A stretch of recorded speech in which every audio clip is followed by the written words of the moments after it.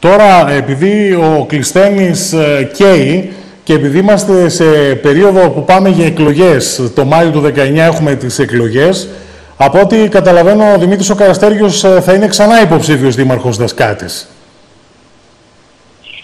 Ε, έχω μετά από συνεννόηση με τους ε, συνεργάτες μου ανακοινώσει ότι επιθυμώ να είμαι εκ νέου υποψήφιος ε, στις εκλογές του Μαΐου του 2019 γιατί θεωρώ ότι η πενταετία που διανύσαμε ήταν μια πενταετία κατασκευής υποδομών και η νέα τετραετία η οποία ανοίγεται μπροστά μας θα μας δώσει τις ευκαιρίες να ολοκληρώσουμε το όραμά μας ε, για την περιοχή ε, εκμεταλλευόμενοι και αξιοποιώντας με τον καλύτερο δυνατό τρόπο τις προσπάθειες που έγιναν όλο αυτό το διάστημα καθώς και τα συγκριτικά πλεονεκτήματα που έχει η περιοχή μας. Νέα πρόσωπα ε, έχουμε, έχουμε νέα πολύ πρόσωπα. έργο ακόμη να κάνουμε μπροστά μας. Να προσπαθήσουμε ε, σε συνεργασία με τους ε, ενεργούς πολίτες που πιστεύουν στο όραμά μας να συγκροτήσουμε ένα ψηφοδέλτιο και ξανά να διεκδικήσουμε ε, την, ε, το Μάιο του 2019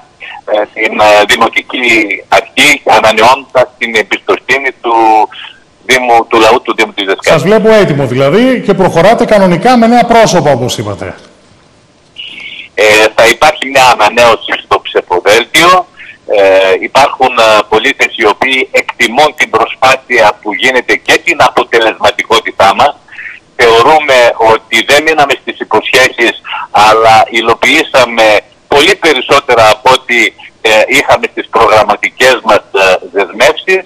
Αυτό το εκτιμά ο κόσμος, αγκαλιάζει αυτή την προσπάθεια, μας εμπιστεύεται, μας στηρίζει και μας δίνει δύναμη να συνεχίσουμε.